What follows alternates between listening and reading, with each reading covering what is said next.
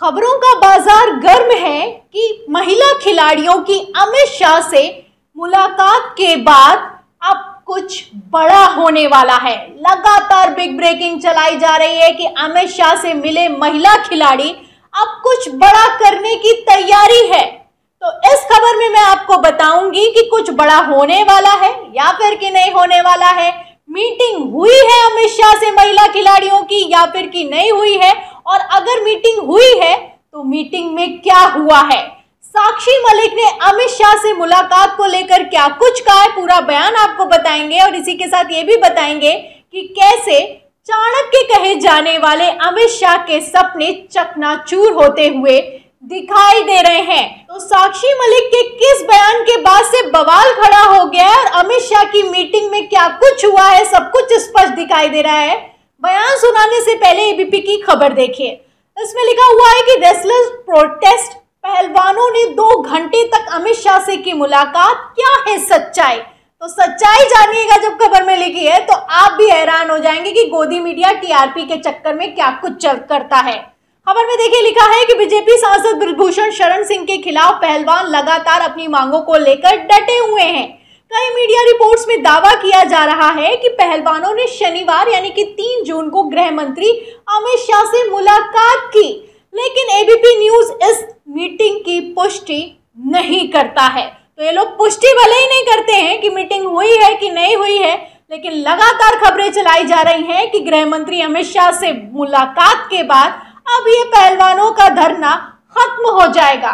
और सिर्फ़ इतना ही नहीं, खबर चला भी दी गई कि साक्षी मलिक ने तो इस धरने से खुद को पीछे कर लिया है। रिपब्लिक भारत की खबर देखिए, इसमें लिखा है रेसलर्स प्रोटेस्ट अमित शाह से मीटिंग के बाद ब्रजभूषण के खिलाफ आंदोलन से पीछे हटी साक्षी मलिक। धरना किया खत्म। खबर हम आपको दिखा चुके हैं कि साक्षी मलिक इन सारी खबरों को फेक बता चुकी हैं। उन्होंने खंडन कर दिया है कि हमने किसी भी तरीके से कोई धरना खत्म नहीं किया। हम भले ही अपनी रेलवे की नौकरी पर वापस लौट गए हैं तो इसका मतलब ये नहीं है कि धरना खत्म हो गया है। साक्षी मलिक ने भी खंडन किया, बजरंग पुनिया ने भी इन खबरों का खंडन किया फेक न्यूज़ बताया, फर्जी खबर बताया, लेकिन फिर भी गोदी मीडिया अपनी हरकतों से बाज नहीं आया। टीआरपी के चक्कर में मसाला परोसा जा रहा है। लगातार खबरें चलाई जा रही हैं कि अमित शाह से मुलाकात के बाद अब कुछ बड़ा होने वाला है ये धरना खत्म होने वाला है। खबरें तो यहाँ तक चला दी गई हैं कि अमित शाह से माफ़ी मांग ली है इन लोगों ने और अब दिल्ली पुलिस की जाँच पूरे होने का इंतज़ार करेंगे। फ़िलहाल मैं आपको बता दूँ कि ऐसा कुछ भी नहीं है। जो लगातार खबरें चलाई जा रही हैं, उसका खंडन करने के लिए साक्षी मलिक ने एक और बयान दिया है। और साक्षी मलिक ने बताया है कि अमित शाह से जब उनकी मीटिंग हुई, उनकी बातचीत हुई तो क्या कुछ हुआ? साक्षी मलिक ने क्या बयान दिया है, वो भी एएनआई को सुनिएगा। देखिए एएनआई हिंदी न्यूज़ में लिखा है कि लिसन हम केंद्रीय गृह मंत्री अमित शाह से मिले। ये एक सामान्य बातचीत थी। तो इस बात पर तो मोहर लग गई कि गृह मंत्री अमित शाह से मिलने के लिए महिला पहलवान गई थी। आगे देखिए, इसमें लिखा है कि हमारी केवल एक ही मांग है, और वह है उन्हें ब्रजभूषण शरण सिंह को गिरफ़्तार किया जाए। तो अमित शाह से भले ही मिल लिए, लेकिन मांग पर हम अपनी कायम में एक ही मांग है कि ब्रजभूषण को गिरफ़्तार किया जाए। कहा जा रहा है ना कि कुछ बड़ा होने वाला है शाह अपनी चाणक की नीति चला देंगे। तो चाणक की नीति यहाँ पर कैसे फेल हो गई? साक्षी मलिक के बयान से आप अंदाज़ा लगा सकते हैं। आगे इसमें लिखा है कि मैं विरोध से पीछे नहीं हटी हूँ। मैंने रेलवे में ओएसडी के रूप में का, अपना काम फिर से शुरू कर दिया है। मैं स्पष्ट कर देना चाहती हूँ कि जब तक हमें न्याय नहीं मिल जाता तब तक हम विरोध करते रहेंगे। हम पीछे नहीं हटेंगे। उसने नाबालिग लड़की कोई प्राथमिकी वापस नहीं ली है, या सब फर्जी है? एनआई के साथ बातचीत में पहलवान साक्षी मलिक तो उन्होंने कह दिया, ना ही नाबालिग ने अपना बयान वापस लिया है, और ना ही मैं धरने से पीछे हटी हूँ। फर्जी खबरें ना चलाइए। ये सब कुछ फेक न्यूज़ है। सबसे बड़ी बात यहाँ पर साक्षी मलिक ने यह भी कह दिया है कि जो हमारी मुलाकात हुई अमित शाह से तो ऐसा नहीं है कि कोई हाई लेवल मीटिंग हो गई है या फिर कि धरने को खत्म करने का हमने फैसला ले लिया है। ना ये धरना खत्म हुआ है और अगर खत्म होगा भी तो सबसे बड़ी बात, सबसे बड़ी मांग जो कि ब्रजभूषण की गिरफ्तारी है, वो जब हो जाएगी, उसके बाद ही हम पीछे हटेंगे जब तक हमें न्याय नहीं मिलेगा, ये धरना जारी रहेगा। तो इस बयान से आप अंदाज़ा लगा सकते हैं कि किस तरीके से कथित तौर पर अमित शाह के सारे के सारे सपने चकनाचूर होते हुए दिखाई दे रहे हैं। क्योंकि लगातार ये हवा बनाने की कोशिश तो की गई कि अमित शाह अब बीच में आ गए हैं, अब तो कुछ खेल होने वाला है, धरना खत्म होने वाला है।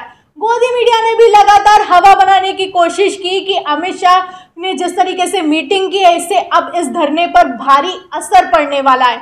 और गोदी मीडिया किसके इशारे पर काम करता है आप अच्छे से जानते हैं। लेकिन ये हवा बनाना, खेल करना बड़ी बड़ी खबरें चलाना बिग ब्रेकिंग चलाना टीआरपी के चक्कर में मसाला परोसना, सब कुछ भारी पड़ता हुआ नज़र आ रहा है। लगातार गोदी मीडिया एक्सपोज हो रहा है, ये जो ब्रजभूषण को लेकर धरना चल रहा है, उसकी खबरों को लेकर। लेकिन फिर भी ये लोग अपनी हरकतों से बाज नहीं आते हैं। कभी कहते हैं कि नाबालिग ने अपना बयान वापस ले लिया है, कभी कहते हैं कि साक्षी मलिक ही वापस चली गई। कभी दिल्ली पुलिस की चार्जशीट को लेकर फेक न्यूज़ फैलाई जाती है। हर एक फेक न्यूज़ एक्सपोज हो रही है, लेकिन फिर भी गोदी मीडिया तो गोदी मीडिया है। खैर, अमित शाह को लेकर कैसे हवा बनाई जा रही है, उसके लिए कुछ खबरें भी आपको दिखा देती हूँ। पत्रिका की खबर देखिएगा, इसमें लिखा है रेसलर्स प्रोटेस्ट पहलवानों, संघ गृह मंत्री अमित शाह की दो घंटे चली बैठक। क्या अब खत्म होगा इनका धरना? खत्म होगा, खत्म हो जाएगा, खत्म हो रहा है। यही खबरें चल रही हैं। और एक और देखिए खबर, अमर उजाला की, इसमें लिखा है कि चार महीने में दो बार धरने पर बैठे पहलवान अमित शाह से मुलाकात के बाद बदली कहानी। तो कहानी भी बदल दी गई, धरना भी बदल दिया गया। लेकिन ना कुछ बदला है, ना कुछ बदलने वाला, ये पहलवानों ने खुद सामने आकर साफ़ कर दिया है। और सबसे बड़ी बात है कि इंटरव्यू एएनआई को ही दिया गया है, क्योंकि एएनआई से ही कैसी खबरें निकल कर सामने आ रही हैं, आप अच्छे से जानते हैं। सबका खंडन कर दिया है और किस तरीके से अमित शाह की चाणक्य नीति को कथित तौर पर फेल कर दिया है, आप इस खबर से अंदाज़ा लगा सकते हैं। कहा जाता है ना कि फ्रेम में अमित शाह आ गए, अब तो खेल पलटेगा, कहानी बदलेगी। ना खेल पलटा है ना कहानी बदली है। तो इस पूरी खबर पर आपका क्या कहना है? जिस तरीके से फेक न्यूज़ चलाई जा रही है और साक्षी मलिक ने खुद सामने आकर मोर्चा संभाला है, सबका खंडन किया है और अमित शाह की चाणक की नीति पर जो बातें हो रही थी, वो फेल होती हुई जिस तरीके से दिखाई दे रही हैं, उस पर, इन सब पूरी खबर पर आपका क्या कहना है? आपकी क्या राय हमें कमेंट बॉक्स में ज़रूर लिखें। वीडियो को ज़्यादा से ज़्यादा शेयर करें सब्सक्राइबर बटन दबाया बेलाइकन दबाए, ताकि हर खबर की नोटिफिकेशन आप तक पहुँचती रहे। मैं प्रियंका, आप देख रहे थे ऑनलाइन न्यूज़ इंडिया फिर मिलते हैं अगली खबर के साथ, तब तक के लिए धन्यवाद। इस खबर को अभी लाइक करें शेयर करें। अभी चैनल को सब्सक्राइब करें और घंटी ज़रूर दबाएँ।